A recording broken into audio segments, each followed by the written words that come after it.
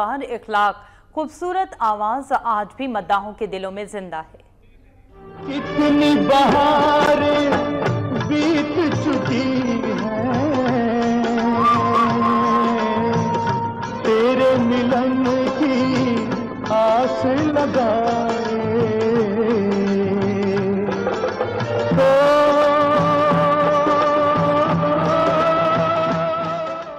اخلاق احمد نے انیس سو تہتر میں فلم پازیب سے اپنے کریئر کا آغاز کیا۔ اس عرصے میں پاکستانی انڈسٹری احمد رشدی کی آواز کے سحر میں مبتلا تھی اور کسی بھی نئے گلوکار کے لیے اپنی جگہ بنانا انتہائی مشکل تصور کیا جاتا تھا۔ انیس سو چوہتر میں فلم چاہت کے سپر ہٹ گانے ساون آئے، ساون جائے نے ان کی ایسی پہچان بنائی کہ پھر انہوں نے مڑ کر پیچھے نہیں دیکھا۔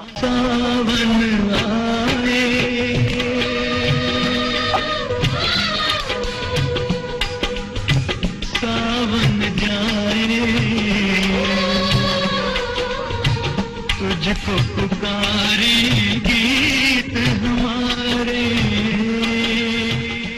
اپنے فلمی کریئر میں انہوں نے چھیاسی فلموں میں ایک سو ستتر گانے گائے، جبکہ ایک پنجابی فلم کے لیے بھی گانا گایا۔ فلم بندش کا گانا سونا نہ چاندی، نہ کوئی محل، آج بھی لوگوں کے لبوں پر ہے۔ سونا نہ چاندی، نہ کوئی محل، جان من، تجھ کو میں دے سکوں گا پھر بھی یہ وعدہ ہے تجھ سے۔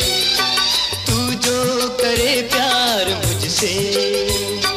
چھوٹا سا گھر تجھ کو دوں گا۔ دکھ سکھ کا ساتھی بنوں گا۔ سونا نہ چاندی نہ کوئی